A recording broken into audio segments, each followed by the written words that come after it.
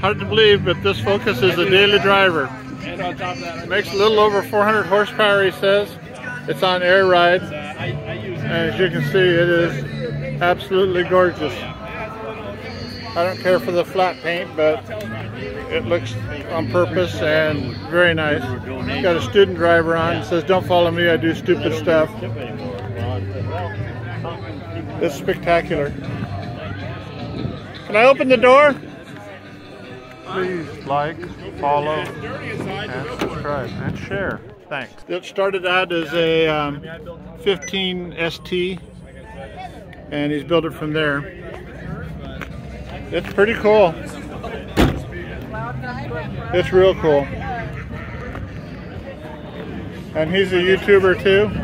Um, Casey's Garage.